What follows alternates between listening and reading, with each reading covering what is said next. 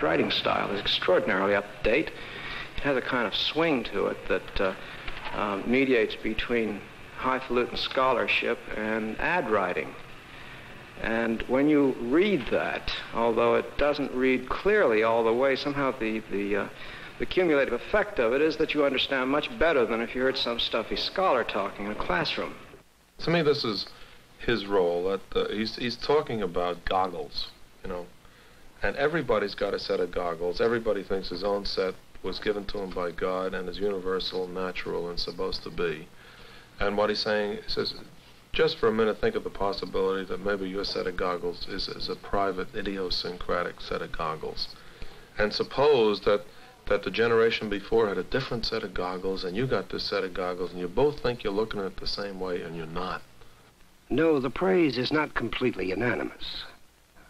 Though Life has labeled him the oracle of the electric age, and the Herald Tribune said he may be the most important thinker since Newton, Darwin, Freud, and Einstein, he has also been called the high priest of pop culture, the in intellectual celebrity, and even that nut professor in Canada. People being excited by McLuhan is that he really has a great knack for developing slogans, you know, like the medium is the message and the channel and the information, those sorts of slogans, and they're very appealing.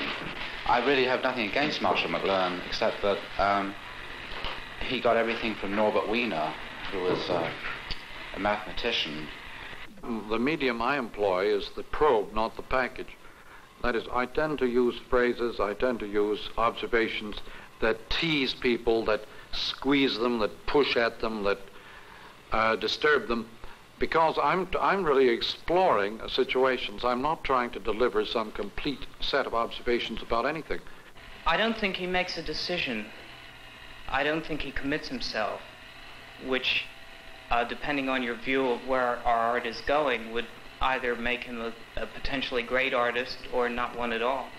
I'm an investigator. I, I explore and I rather, instead of explaining, I explore.